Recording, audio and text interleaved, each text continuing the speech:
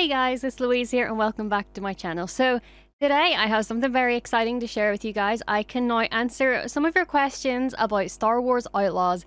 I was lucky enough to have the chance to be flown out to LA to play four hours worth of gameplay. And I'm going to tell you, I had so much fun exploring the world and seeing what Outlaws has to offer. Reminder that this is a pre-release version um, and I was playing on Xbox. We had the chance to explore two areas. One is Toshara and the other is Kijimi. Toshara is brand new for Outlaws and Kijimi is already in Star Wars canon. We had three hours worth of gameplay on Toshara and one hour's worth of gameplay on Kijimi. Toshara is a much bigger map, so it was really, really good to have that little extra bit of time to explore. So originally I was going to make this into one full video, but as I got further into it, I realized that the video was going to end up being too long. So I'm splitting this into two different parts. The first part in this video will be talking about accessibility options. And the second part in the next video, I will be talking about my opinions, my thoughts, and I'll be answering some of the questions that you guys give me on Twitter. So stay tuned for that. And if you're interested in the accessibility options, stay tuned for the rest of this video. While I didn't get the chance to look through the accessibility menu myself, there is an interview online which goes deep into the accessibility options that they will have in the game. So I'm going to be talking over that and I will also link the website in the description for anyone who wants to read over it as I'm just going to be doing a, a short little breakdown. So as someone who personally makes use of accessibility settings because of different issues that I have, I was very excited to discover what settings we were going to get for this game and I'm excited to share with you guys that this game is going to be accessible for as many players as possible. They've designed this in a way that they want as many people as possible to be able to play regardless of their reasoning. So there are a lot of visual settings, audio settings, control settings, combat and stealth settings, navigational settings, all of it, you name it. So to name just a few of the accessibility settings that there will be in this game, when it comes to visual settings, we're going to have options to change high contrast settings. There is also colorblind accessible options, visual intensities, which include screen shake, depth of field, motion blur, etc. There will also be a view angle FOV, configurable separately for default and while aiming. For audio, the game is not reliant on audio at all, so you can play the game entirely without audio and you will still get the full experience of the game. There are your usual settings such as subtitles with backgrounds, speaker names, colors, directional arrows, along with audio descriptions for cinematics, which has an optional narrated voiceover describing what is happening visually. There is configurable dynamic range for control over the volume difference. There is positional audio cues which show the direction of nearby opportunities or loot or side quests. And there is plenty of sliders for audio mixes and just volume sliders in general for the master, for the music, for effects, for voices, etc. There are accessible control options as well, such as auto walk and toggle sprint. There is keyboard and mouse remapping, there are controller presets. The game supports both keyboard and mouse, controller, and virtual keyboard via windowed mode. Sensitivity is individually adjustable, so you can change the sensitivity of your mouse, controller, camera look, hip firing, speeder, and your ship.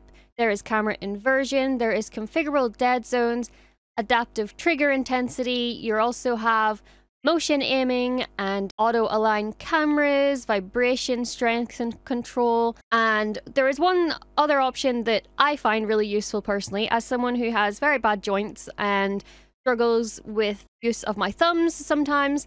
Um, you can change holds to presses. So instead of holding a button, you can just press it. And there also is the option to change button mashing to holding.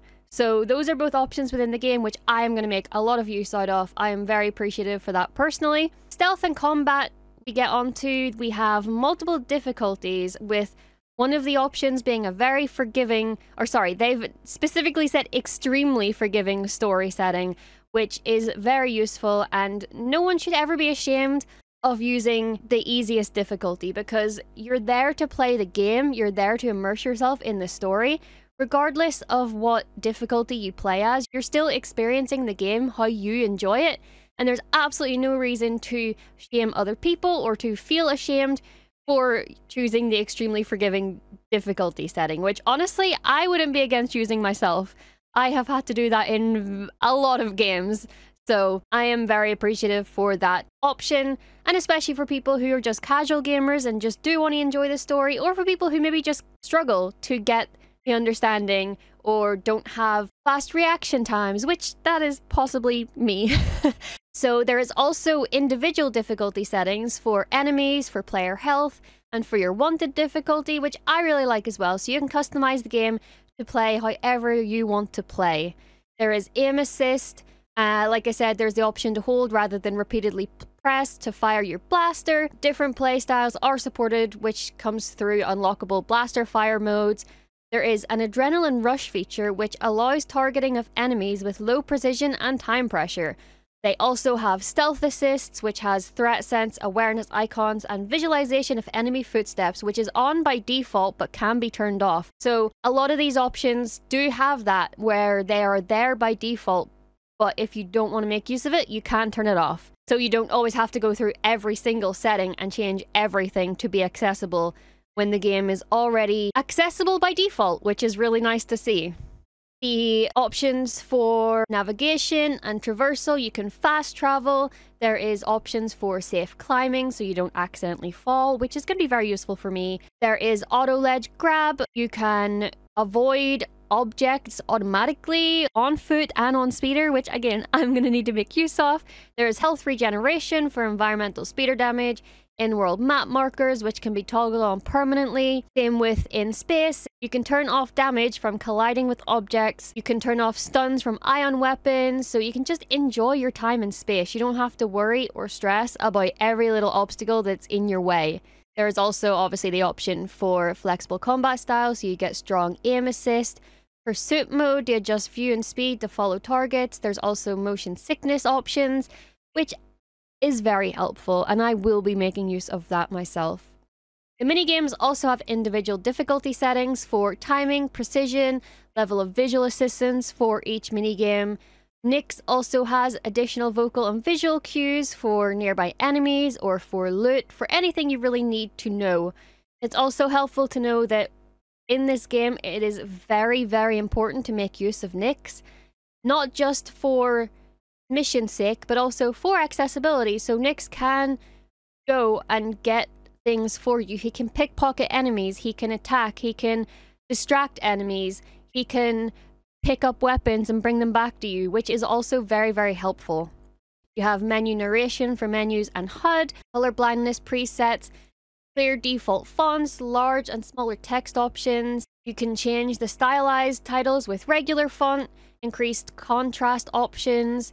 Controller winders are also on the HUD, and everything is configurable. So you can control how often elements are shown, whether to show the compass, the map orientation, center dot size, and whether to add a plain contrasting background behind all HUD elements. This game is made for so many people to enjoy and to have fun with and to experience. So all this information comes from the audio director, lead gameplay designer, and presentation director from Ubisoft. And again, I will link this in the description so you guys can read it in full. You can read the full interview and all the options that are there.